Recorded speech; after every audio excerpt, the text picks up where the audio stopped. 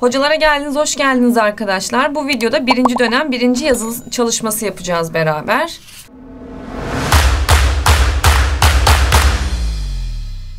Boşluk doldurmalı bir soru. Aşağıdaki boş bırakılan yerlere uygun ifadeleri tamamlayınız diyor. Bakalım şimdi. Aralarında asal sayıların ebobu. Aralarında asal sayıların ebobu neydi hatırlayalım. Aralarında asal sayıların zaten ortak birden başka böleni olmadığı için bir tane vardı o da bir. O da neydi? O zaman ebobu neydi? Ortak bölenlerin işte en büyüğü de bir tane var zaten. Ne oldu? Bir. Ekoku neydi? Bu aralarında asal sayıların çarpımlarıydı. Doğru değil mi? Eko, EBOB 1, ekok sayıların çarpımı.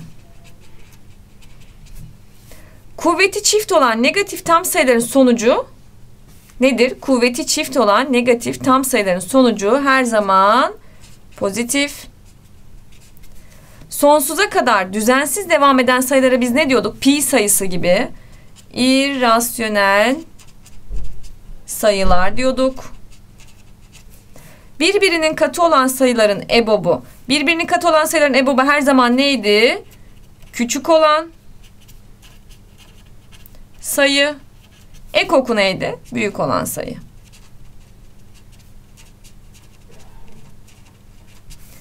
Bir küçük eşit a mutlak küçük 10 ve n bir tam sayı olmak üzere a çarpı 10 üzerinden ifadesinin gösterimle biz ne diyorduk aslında? Bilimsel gösterim. Hatırlayalım nasıl gösteriyorduk mesela. 32 çarpı 10 üzeri 2 ise ben buna bilimsel diyemiyordum. 32'yi 1 ile 10 arasına koyuyordum. 1 virgül kayıyordum. 3 virgül 2 çarpı 10 üzeri sola gittiğim için kuvvet bir tane artıyordu. 10 üzeri 3 oluyordu. Böylece hatırlamış olduk.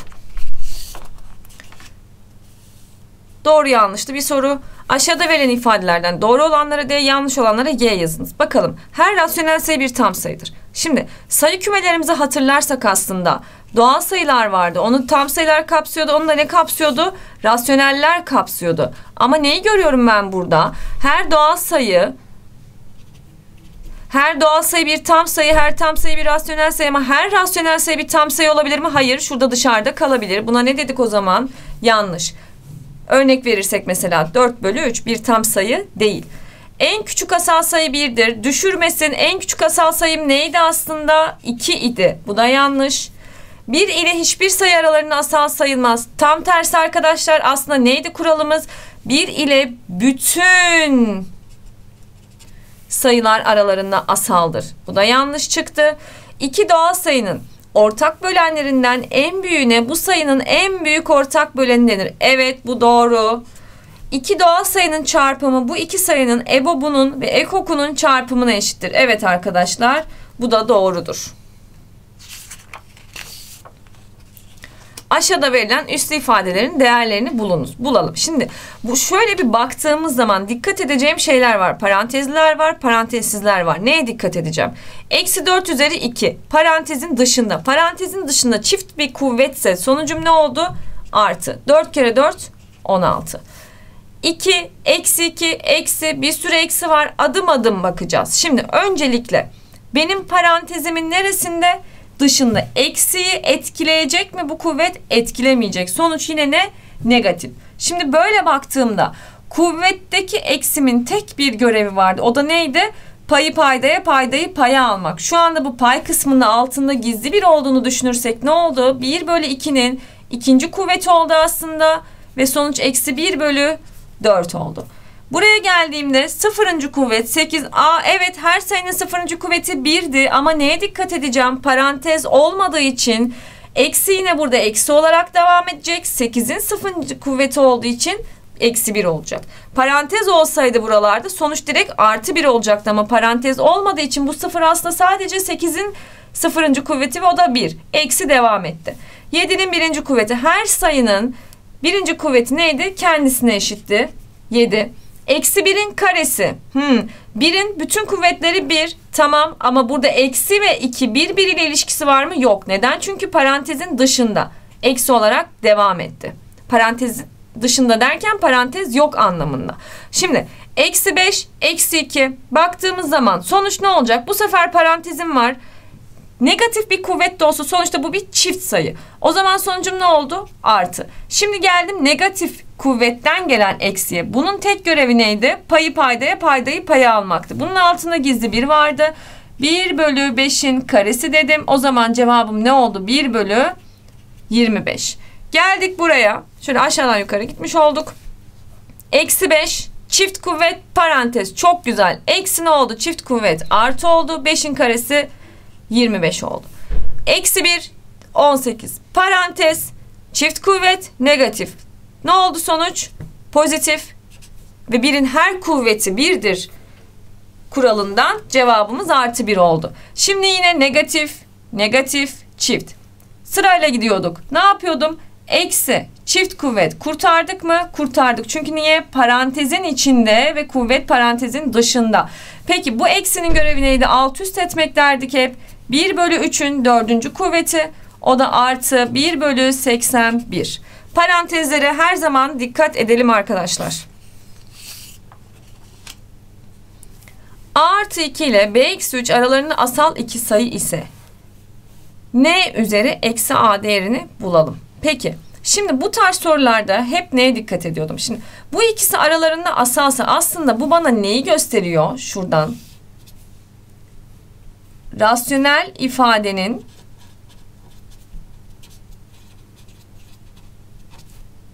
en sade halidir. Artık sadeleşmiyordur. Neden? Artık payın ve paydanın ortak bir böleni kalmamıştır. Ortak böleni kalmamışsa o zaman pay ve payda nedir? Aralarında asaldır. O zaman ben şu 16 bölü 28'i en sade haline getirirsem artı 2'nin ve n eksi 3'ün değerini bulmuş olurum. 16 bölü 28'i sadeleştiriyorum. 4'e böldüm 4, 4'e böldüm 7. Artık sadeleşiyor mu? Sadeleşmiyor. Neden? Ortak böleni yok. Yani ne oldu? Aralarında asal oldu. Bu neye eşitti? A artı 2 bölü n eksi 3'e. O zaman A artı 2 eşittir 4 oldu. A buradan ne geldi? 2. n eksi 3 eşittir 7 oldu. n buradan ne geldi? 10. Ne istiyor benden? N'nin üzerine A'yı koy ama eksili koy. Yani n üzeri eksi A eşittir 10 üzeri eksi 2. Bunu farklı çeşitlerde yazmak istersek.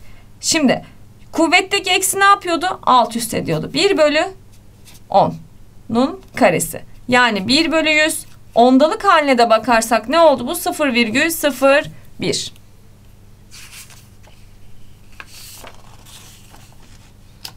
X ve Y birer pozitif tam sayı olmak üzere. İfadesinde x'in alabileceği en büyük değer için y'nin alabileceği değeri bulunuz. Şimdi baktığımızda 192 sayısı için 2'nin bir kuvvetiyle çarpılmış, y 2'nin bir kuvvetiyle çarpmış. O zaman x'in alabileceği en büyük değer için y'yi bulacağım. X'i ben nereye kadar alabilirim? Yani 192'nin çarpanlarında 2'nin kuvveti en büyük ne var ona bakalım. 192'yi şöyle bir çarpanlarını ayırırsak 1 çarpı 192 2 çarpı 96 3 çarpı 64. Daha bakmayacağım. Çünkü neden? 2'nin kuvvetini buldum. Bundan sonrasında sol taraf artarken sağ taraf azalıyor. Gerek yok. Sonrasında da yer değiştiriyor. O zaman 64 neydi? 2 üzeri 6. Ben o zaman şunu düzenlersem 192 eşittir 3 çarpı 2 üzeri 6 diyebilirim. X'i alabildiğimin en büyük halini aldım. Y'ye ne düştü o zaman? 3. Y eşittir 3 oldu.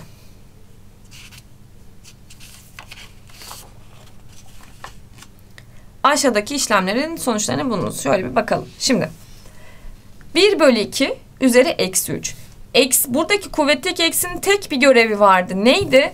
Payı paydaya, paydayı paya yaz. O zaman yani bu ne demekti kısacası? Alt üst et. Ettim 2 bölü 1'den 2 geldi. 2 üzeri 3 oldu. Artı tek kuvvet parantez ve negatif.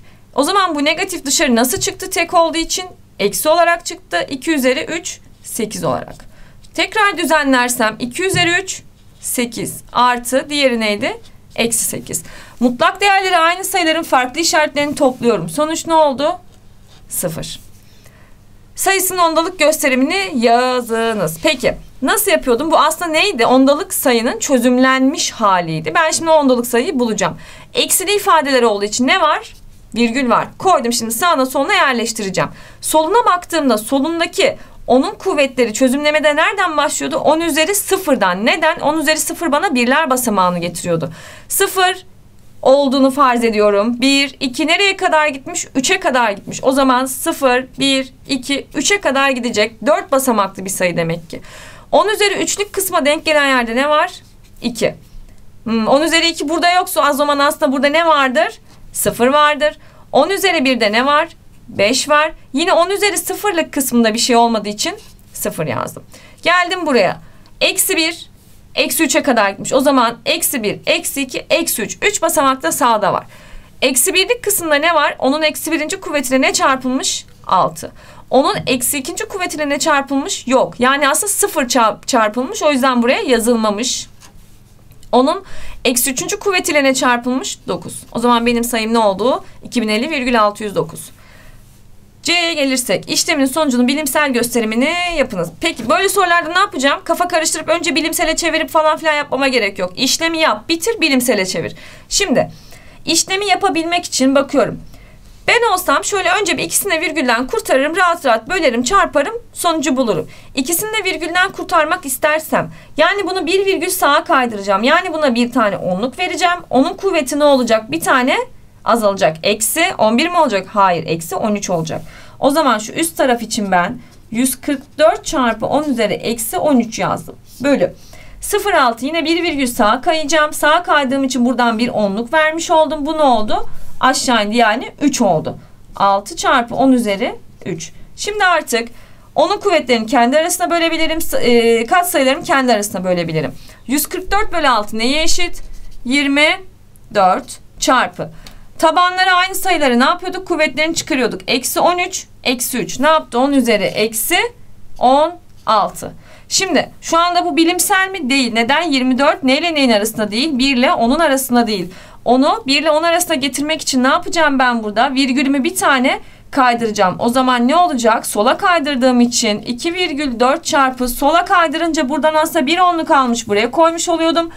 Onun kuvveti bir tane artmış oluyordu. Eksili ifade olduğu için 10 üzeri eksi 15 oldu.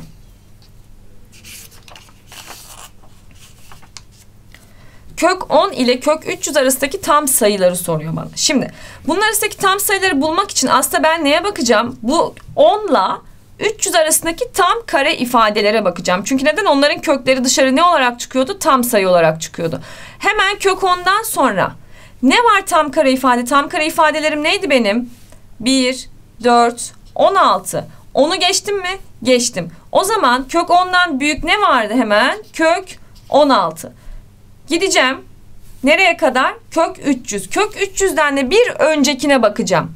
Şöyle bir düşündüğümüzde 15'in karesi, karesi 225.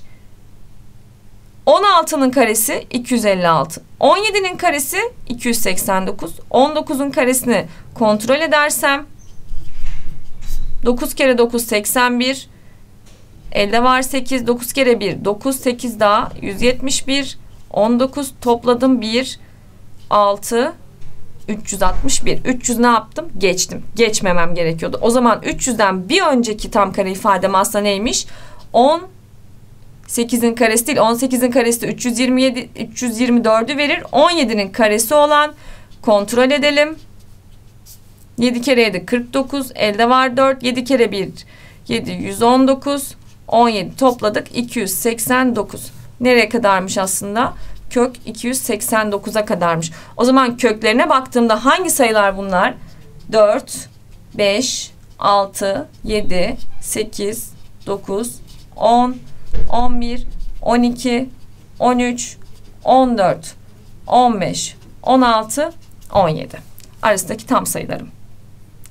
Kök 35 sayısını sayı doğrusunda gösterelim. Yaklaşık olarak göstereceğiz. Şimdi kök 35 kime yakın? Kime yakın derken kim sorusunun cevabı şu. Şimdi bu tam bir kare olmadığı için dışarı tam olarak çıkmadığı için bir tam sayı olarak kök 35'ten bir sonraki tam kare ifadem ne aslında benim? Kök 35 neyden küçük diyoruz? Kök 36'dan küçük. Neyden büyük? Kök 25'ten büyük. O zaman tam sayı olarak 5 ve 6 arasında benim kök 35. Peki sayı doğrusunu çizersem 0, 1, 2, 3, 4, 5, 6. Niye biraz geniş bıraktım? Çünkü arasına yerleştireceğim. İşim kolay olsun. 5 ile 6 arasında ortaya mı, 5'e yakın mı, 6'ya yakın rastgele de yerleştirmeyelim. Biraz yorum yapabiliriz. Şimdi kök 35. Bir birim sonra ne var? Kök 36. E 25'ten 10 birim daha uzak. Bayağı gitmiş. 25'ten yola çıkmış gitmiş. Tam kök 36 olacakken olamamış. O zaman ben ortasını da geçtim. Şöyle 6'ya yakın bir yerde kök 35'i gösterdim.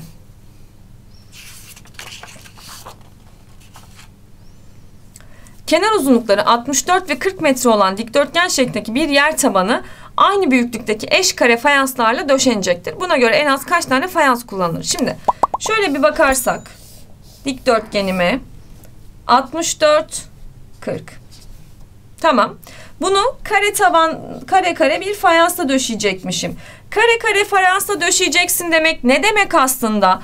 Bunların karenin iki kenarı eşit olduğu için her kaç santimse 64'ü de o kadara böleceksin. 40'ı da o kadara böleceksin. Buradan nereye vardık? Yine ortak bölene vardık. Peki en az kaç tane fayans kullanılır dediği için fayans sayımın e, az olması için fayansımın uzunluğu çok büyük olmalı. Olabildiğince büyük fayans kullanırsam olabildiğince az fayans kullanırım. Oradan da bu ortak bölenlerden neyi bulmam gerektiğini anladım. En büyüğünü. EBOB'a vardım. Şimdi 64 ile 40'ın EBOB'una bakalım. 2'ye böldüm. 32, 20. Yuvarlak içine aldım. 2'ye böldüm. 16, 10 yuvarlak içine aldım. İkisine de bölenleri yuvarlak içine alıyorduk. 2'ye böldüm. 8, 5 yuvarlak içine aldım. Devamında ne var? Yine 2'ye böldüm. 4, 5, 2'ye böldüm. 2, 5, 2'ye böldüm. 1, 5, 5'e böldüm 1. Herhangi bir ortaklık çıkmadı. O zaman benim EBOB'um ne oldu? 1, 2, 3. 2 üzeri 3'ten 8 oldu. 8 ne? Santim. O kare olan fayansın bir kenar uzunluğu. Peki ben kaç tane kullanacağım bakalım. Şimdi tekrar şurada çizersem 64'lük kısımda 8 santim 8 santim bölü 8'den 8 tane ne kullanacağım bu sırada? 1, 2, 3, 4, 5, 6, 7, 8 tane. 1, 2, 3, 4, 5, 6, 7, 8 tane kullandım. Peki şu aralıkta 40'lık olan kısımda 40 bölü 8'den 5 tane fayans olmalı şuradan. 1, 2, 3, 4, 5 tane. O zaman 8'li gruptan aşağı doğru 5 tane olacağı için biz buna ne diyorduk? 8 kere 5'ten 40 tane ben totalde fayans kullandım. Olabildiğince az kullanarak. A ve B sayıların EBOB ve EKOK'larını bulunuz. Şimdi asal çarpanlarının çarpımı şeklinde yazılan sayıların EBOB'unu ve EKOK'unu bulurken ben tekrar bunları çarpıp A sayısını B sayısını bulup algoritma yapmama gerek yoktu. EBOB'a bakarken neye alıyordum ben? Neye bakıyordum? Ortaklardan kuvveti küçük olanı al. EBOB'da cimri davranıyorum. Peki baktığımda A ve B sayısına 2, 2 ortak mı taban? Bu arada ortaklardan dediğim ne? Tabanı. Tabanları ortak mı? Ortak. Neyi alacağım? Kuvveti küçük olanı. Bunun kuvveti ne burada gizli? 1. O zaman EBOB'u yaptığım zaman ne aldım? 2 üzeri 1. Tabanlar ortak mı? 3, 3 ortak. Kimi alacağım? Küçük olanı. Aldım. 3 üzeri 1. 5 burada var. Burada var mı? Yok. Ortaklık söz konusu yoksa o zaman benim EBOB'um ne oldu? 6. EKOK'a gelirsek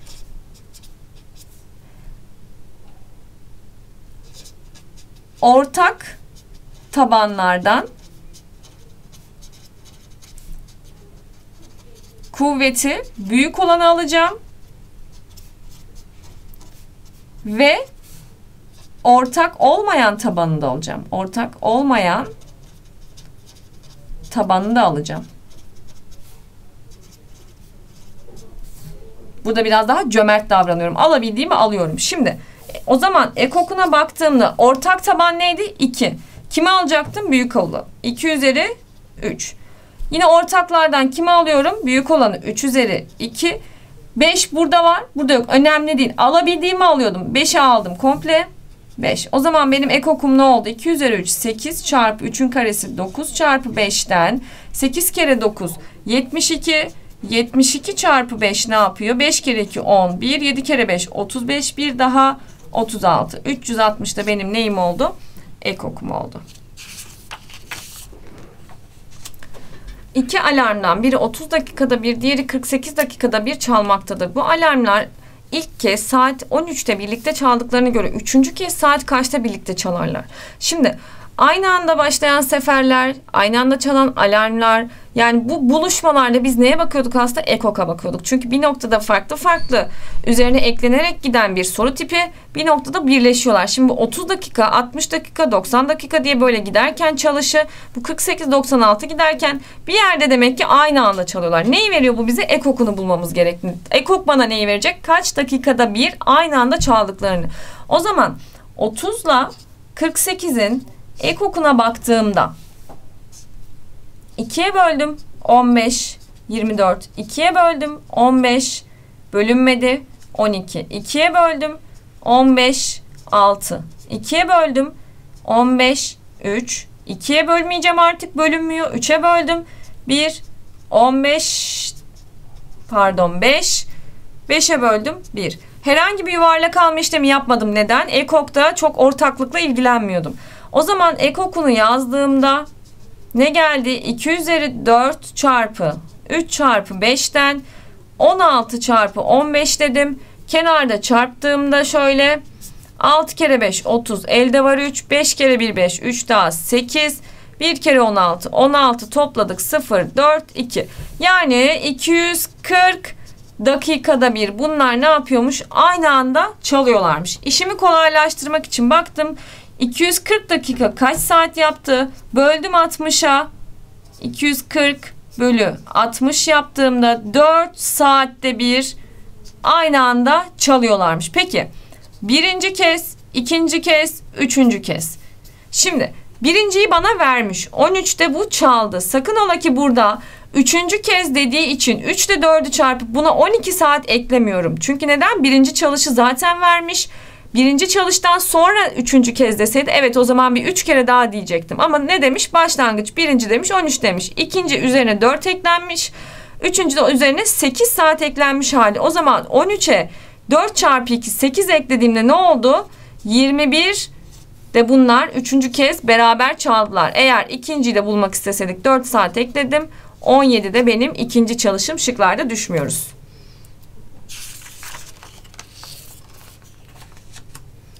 4 üzeri 8 adet cevizi 16 kişilik bir sınıfta eşit paylaştırılırsa her öğrenciye kaç adet ceviz düşer? Şimdi bakıyorum şıklarda ne var? 2'nin kuvvetleri. Benden ne istiyor o zaman? 2'nin kuvveti şeklinde bir sonuç istiyor. Ben o zaman yola da 2'nin kuvvetiyle çıkayım.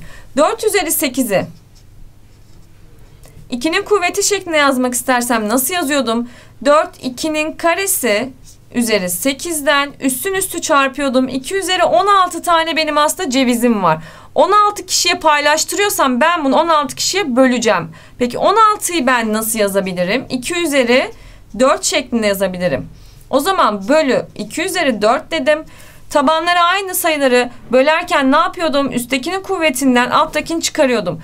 2 üzeri 16 eksi 4'ten 2 üzeri 12 adet ceviz benim kişi başına düşen cevizim oldu arkadaşlar. Evet bu videonun da sonuna geldik. Hepinize yazınızda başarılar diliyorum. Bir sonraki videoda görüşmek üzere.